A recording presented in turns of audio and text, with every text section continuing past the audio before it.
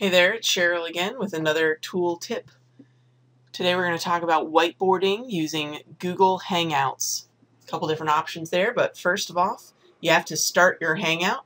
So I'm on the um, Kuali Student Training Google Plus page. You can see I'm signed in as myself. And if you go over here to Profile, Hangouts, and then you go to Video Hangouts, start a video hangout. We'll get one up and running here. There's a link that you can share and have people join, or you can actually invite them using um, messaging here. But we're not going to do that right now. We're just going to cancel. So the different options you have are all on the side here under Apps. First one is Google Drive. We're going to use that.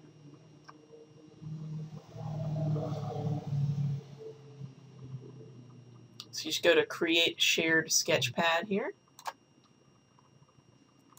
Yes, yes, open it. And there you go. You have a Hangout Sketchpad. Works just like all the other like drawing.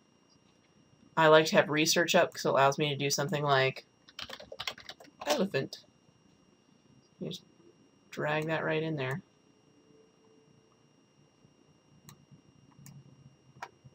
Good old Shutterstock.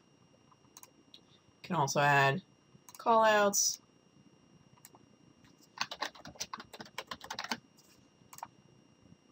And other basic kind of functions. Um, it's pretty cool as you can kind of connect pieces together.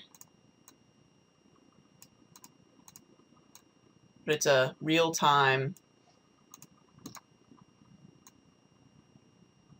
drawing tool that everybody can work on together, just like other Google Docs, Google Drive items. Um, it saves a sketchpad into your drive, so you never lose it. It's pretty easy. Um, and has all the regular features. Once you've created something, you can do all sorts of stuff to it. Okay? So that's one way to do the sketchpad. Another way is using what's called Cacoo, I think is how you say it. It's a little more like Gliffy. So you can create a diagram like this.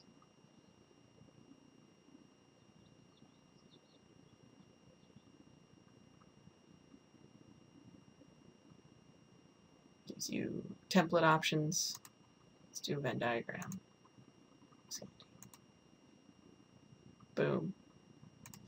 And this, similar to Google, you can, you know, edit things that exist right here. What's kind of neat is you have the chance to, um, these stencils you can kind of pull in. So here's a desk. you wanted to figure out how to do your office layout with a desk. There it is. So, pretty handy. Everybody can edit and work together in this space. You can also export it as all sorts of different doc types, um, and then you can save it right in your uh, Google Hangout. So that's that. In order to add, Cacoo is something you have to actually add, so there's a link on the wiki page. Um, you might be able to search for it under Add Apps. Um, but those are some options. All right, so that is how you do a shared whiteboard in Google Hangouts. Hope that was helpful. Let me know if you have any questions, comments, concerns, as always, and uh, have a good rest of your day. Bye.